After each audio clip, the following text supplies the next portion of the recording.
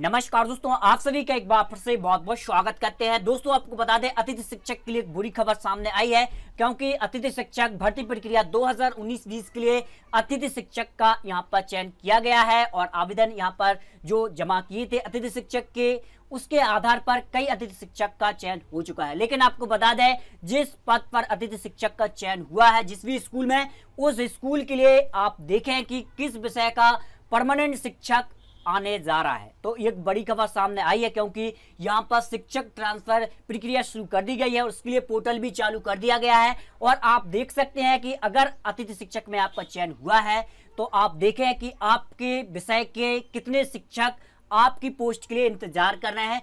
तो अतिथि शिक्षक के लिए बुरी खबर सामने आई है और हो सकता है कि ये भर्ती जो है वो रद्द हो सकती है, क्योंकि कई सारे ऐसे शिक्षक हैं जो कि एक पद के लिए इंतज़ार कर रहे हैं। जिस प्रकार से अतिथि शिक्षक का चयन हुआ है, कई सारे अतिथि शिक्षक एक पद के लिए वेट कर रहे थे, इंतज़ार कर रहे थे, लेकिन एक शिक्षक का यहाँ पर चयन किया गया। उसी प्रकार यहाँ पर ट्रांसफ़र में काफ़ी बड़ी लंबी लाइन यहाँ पर देखने को मिल रही है। तो दोस्तों, यहाँ पर एजुकेशन पोर्टल पर आपको जाना है। Online teacher transfer management system ने यहाँ पर जो जानकारी वो अपलोड कर दी है, और यहाँ पर आप देखें कि एक चेक ट्रांसफ़र के लिए इस विद्यालय को चयन करने वाले शिक्षकों की जानकारी आप देख सकते हैं। इसका मतलब यहाँ पर यह आता है, अगर आपने अतिथि शिक्षक में ज्वाइन कर लिया है और ज्वाइन करने के बाद अब आपको यहाँ पर यह देखना है कि आपके विषय का कौन सा शिक्षक आने वाला है, ट्रांसफ़र के लिए वो इंतज़ार कर रहा है।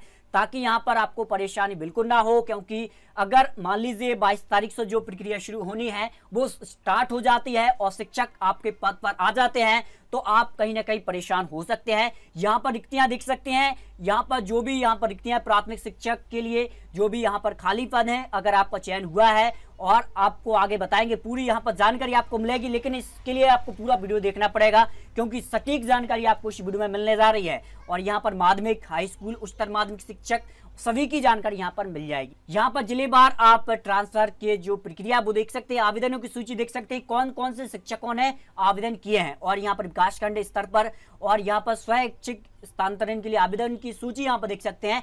चलिए आपको दिखाते कैसे आपको चेक करना है कि किस विद्यालय में, किस विषय के कितने शिक्षक यहाँ पर ट्रांसफ़र की सूची में नाम दर्ज है।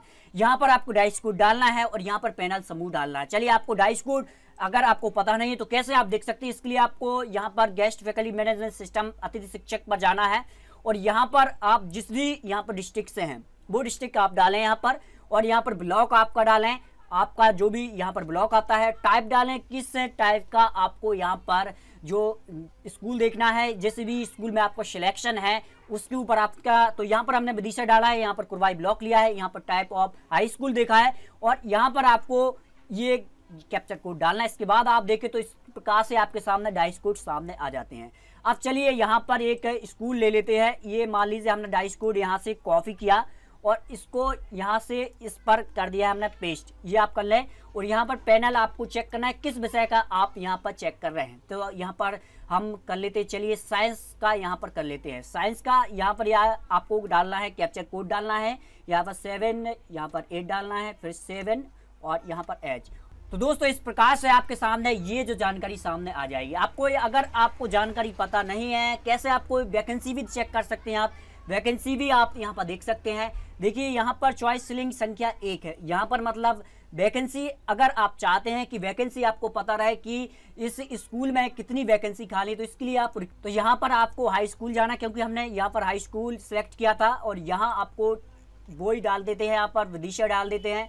और यहाँ पर हाई स्कूल सिलेक्टेड यहाँ पर विकास खंड कुरवा लिया था हमने और पैनल में यहाँ पर देख लेते हैं साइंस तो साइंस डाला, यहाँ पर आपको डालना है कैप्चर कोड ये ये डालते ही अगर आप देखें तो यहाँ पर आप देखें तो ये वैकेंसी बता रहा है। मतलब वैकेंसी यहाँ पर एक है। आप देखें, दुघावरी हमने लिया था। दुघावरी में आप देखें साइंस की एक वैकेंसी है। लेकिन इस लाइन में आप देखें, जो महत्वपूर्ण बात यह है, जो हमने अभी देखा था तो दोस्तों हाई स्कूल यहाँ पर जो दुघावरी है, वहाँ पर साइंस का पद एक खाली है। लेकिन इसके लिए जो आवेदन आए हैं परमानेंट शिक्षक के द्वारा, वो यहाँ पर दो आवेदन है। इसके पहले मैंने आपको बता दिया था। तो दोस्तों, हमने देखा कि एक वैकेंसी है, लेकिन अतिथि शिक्षक का वहाँ पर सिलेक्शन हो चुका है। अगर आप देखें तो यहाँ पर जो दो कैंडिडेट हैं, यहाँ पर जो दो कैंडिडेट यहाँ पर बताया जाए, एक महिला है और यहाँ पर एक बलराम सिंह ठाकुर, जो कि यहाँ पर इस पद के लिए ट्रांसफ़र की लाइन में है और बहुत जल्द इनका ट्रांसफ़र जो है इस स्कूल में कर दिया जाएगा। तो अतिथि शिक्षक का जो पद है, वो यहाँ पर कह सकते हैं अतिथि शिक्षक को वापस आना पड़ेगा और पाँच इन्होंने चॉइस की है और इसके अलावा इन्होंने मात्र एक चॉइस की है। अगर आप देखना चाहते हैं और अन्य स्कूलों के लिए तो यहाँ पर आपको डाइस कोड डालना है दूसरा। चलिए यहाँ पर दूसरा डाइस कोड लेते हैं। चलिए आपको दिखाते हैं, सबसे पहले यहाँ पर चेंज कर देते हैं और हाई स्कूल का, अब आपको यहाँ पर मिडिल स्कूल लेते हैं और यहाँ पर आप देखते हैं, ये कैप्चर कोड डालना है आपको। इस तरह से आप जो है डाइस कोड अपना चेक कर सकते हैं। चलिए, यहाँ पर मान लीजिए, पहला स्कूल यहाँ पर गर्ल्स मिडिल स्कूल पठारी, और ये मिडिल है, इसका हम डाइस कोड यहाँ से कॉपी कर लेते हैं। और यहाँ पर ट्रांसफ़र वाला जो कॉलम है, यहाँ पर आपको क्या करना है, इसको डाल देना है। डालने के बाद यहाँ पर साइंस पैनल है और यहाँ आपको ये वाला जो कैप्चर कोड है यहाँ अगर आप देखें तो पैनल में जो नाम है वो साइंस और दो यहाँ पर कैंडिडेट हैं। इन्होंने चॉइस फिलिंग जो की है, सत्रह चॉइस इन्होंने की है स्कूलों की और इन्होंने आप देखें तो रीता भार्गव जो है, उन्होंने ग्यारह चॉइस की हैं। और अगर आप देखें तो इनका कार्यकाल जो तिथि है, वो 25 पाँच 2011 से स्टार्ट हुआ है और इनका जो है 12 दस 2009 से किया गया है। और अगर आप देखें तो इनके लिए जो मान लीजिए वैकेंसी एक है और दो कैंडिडेट यहाँ पर जो है लाइन में है, जो कि ट्रांसफ़र की लाइन में है। और ट्रांसफ़र होते हैं तो ये पद जो है वो फिर से भर दिया जाएगा। और अगर आप अतिथि शिक्षक यहाँ पर है तो आपके लिए परेशानी हो सकती है। चलिए यहाँ पर हम और अन्य स्कूल आपको दिखाते हैं कैसे डाई स्कूल आप देखें। तो यहाँ पर मान लीजिए, अब मान लीजिए यही स्कूल लेते हैं और यहाँ पर हम जो पैनल है, यहाँ पर मैथ कर देते हैं या पर लिया है और ये आपको डालना है कैप्चर कोड यहाँ पर डालने के बाद तो आप देखें यहाँ पर कि मैथ का पद यहाँ पर एक है और इसके लिए संदीप यादव जो हैं, वो यहाँ पर कह सकते हैं कि लाइन में लगी हुई है और कह सकते हैं कि ट्रांसफ़र अगर इनका होता है तो जो शिक्षक, अतिथि शिक्षक यहाँ पर कार्य कर रहे हैं, उनको कहीं ना कहीं हटना पड़ेगा। तो ये बड़ी खबर सामने आई है।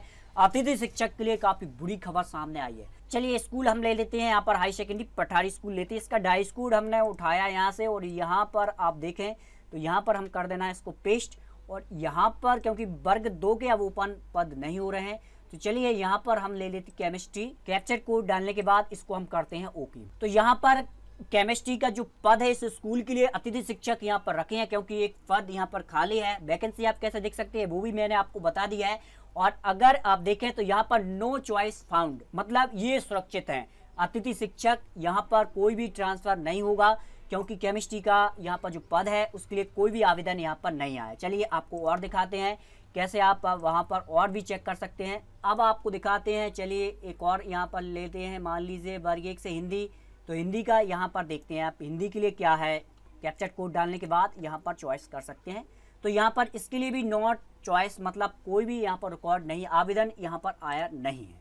तो दोस्तों, इस तरह से आप पी एस एम एस और यहाँ पर कह सकते हैं हाई स्कूल और हाई सेकेंडरी स्कूल में आप देख सकते हैं कि किस पद के लिए कितने आवेदन यहाँ पर हैं और कौन से शिक्षक आने वाले हैं। तो पूरी जानकारी आपको यहाँ से मिल जाएगी। अगर आपने यहाँ पर अतिथि शिक्षक में काम कर रहे हैं मिडिल स्कूल और हाई स्कूल और हाई सेकेंडरी स्कूल तो आपको कहीं ना कहीं परेशानी हो सकती है क्योंकि अतिथि शिक्षक ने जहाँ ज्वाइनिंग की है, उस ज्वाइनिंग उस विषय के लिए कई सारे यहाँ पर शिक्षक जो हैं वो यहाँ पर ट्रांसफ़र की सूची में आ रहे हैं। तो कैसे अगर आप चेक कर सकते हैं, इसके लिए मैंने आपको पूरी जानकारी बता दी है। फिर भी आपके मन में जो भी यहाँ पर डाउट है, जो भी आप अगर समस्या आ रही है तो कमेंट बॉक्स में लिख सकते हैं। यहाँ से आप देख सकते हैं, रिक्तियाँ देख सकते हैं। तो यहाँ पर आपको जिला डालना है, यहाँ साला का प्रकार जो भी कैटेगरी है, वो आप चेक कर सकते हैं कि वैकेंसी कितनी है, आपका सिलेक्शन हुआ है, और इसके अलावा कौन से शिक्षक जो है आपके पद पर आने वाले हैं, ताकि आप सतर्क हो जाए, आपको पता चल जाए ताकि आपका समय बर्बाद बिल्कुल भी ना हो। तो दोस्तों, ये वो जानकारी थी जो कि अतिथि शिक्षक के लिए काफ़ी महत्वपूर्ण जानकारी सामने आई है। क्योंकि यहाँ पर ट्रांसफ़र प्रक्रिया शुरू कर दी गई है और पोर्टल भी यहाँ पर तैयार हुआ है और पूरी जानकारी मैंने आपको यहाँ पर कंप्लीट तरीके से दे दी है। अगर आपको वीडियो अच्छा लगा है तो दोस्तों, लाइक कर दीजिए और दोस्तों को शेयर ज़रूर कर दीजिए ताकि आपके सभी मित्रों तक यह जानकारी पहुँच सके और वह भी पता कर सकें कि जिस स्कूल में उनका सिलेक्शन हुआ है, उस स्कूल में कौन से शिक्षक आने वाले हैं, नाम और पद, सब कुछ जानकारी आपको इस तरीके से आपको मिल जाएगी। तो चलिए दोस्तों, नई जानकारी के साथ नई जो यहाँ पर आदेश आने वाले हैं, उन सभी जानकारी की पाने के लिए आप प्लीज़ चैनल को सब्सक्राइब कीजिए, साथ में बेल आइकन को दबाइए ताकि लेटेस्ट वीडियो का नोटिफिकेशन आपको टाइम टाइम मिलता रहे। तो चलिए मित्रों, एक नई वीडियो के साथ मिलते हैं। आपका शुभ हो। जय हिंद।